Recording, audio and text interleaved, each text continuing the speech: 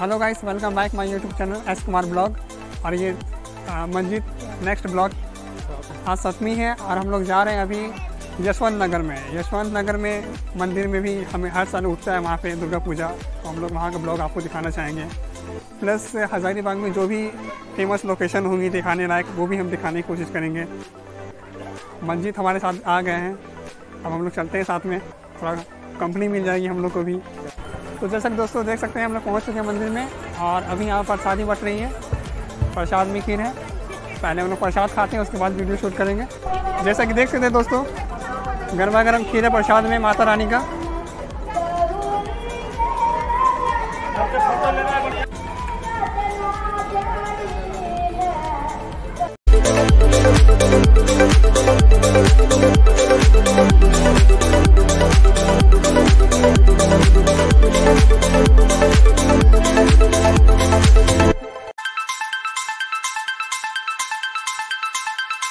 Lighting काफ़ी अच्छी decoration की गई है।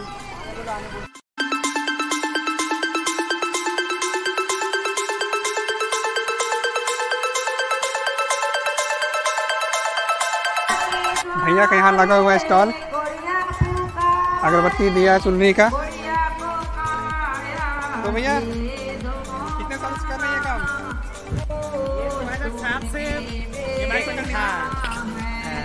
नमस्कार, देखा जाए तो सन 2007 से ये दुर्गा पूजा यहाँ पे उठ रहा है और तब से मैं यहाँ से लगाते आ रहा हूँ और ये 2022 हमारा 15 साल कंप्लीट हो गया है।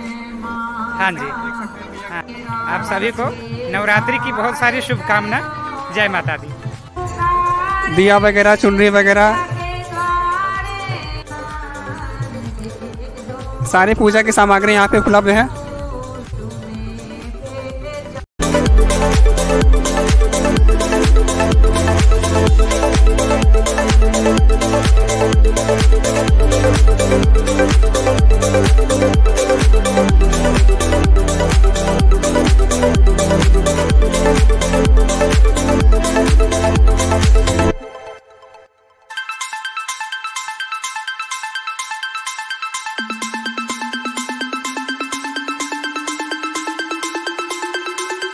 तो जैसा कि दोस्तों, ये हमारे घर के पास हो रहा है।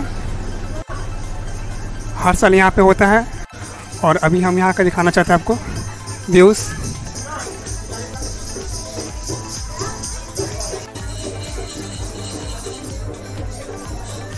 हम लोग पहुँच चुके हैं। ये है सिरका मोहल्ले का, जो कि खिरगांव में है, और ये द्वारदेवी मंडप का व्यूज़ दिखा रहे हैं आप लोग को। अभी यहाँ संगीत चल रहा है, आरती चल रही है।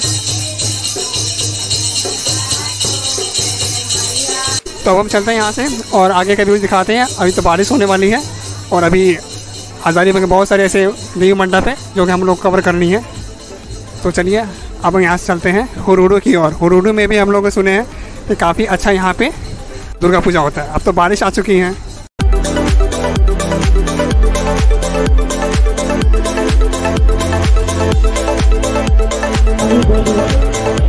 तो फाइनली दोस्तों हम लोग पहुँच चुके हैं।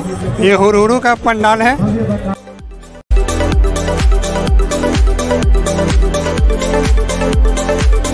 दोस्तों अभी हम आए हुरूडू। और इस पंडाल को जो पीछे देख रहे हैं आप लोग डेकोरेशन करने में और यहाँ का पूरा सजावट करने में यहाँ पे लगभग पाँच लाख रुपए खर्च आया है जैसा कि सुनने में आया है। चलते हैं आपको अंदर के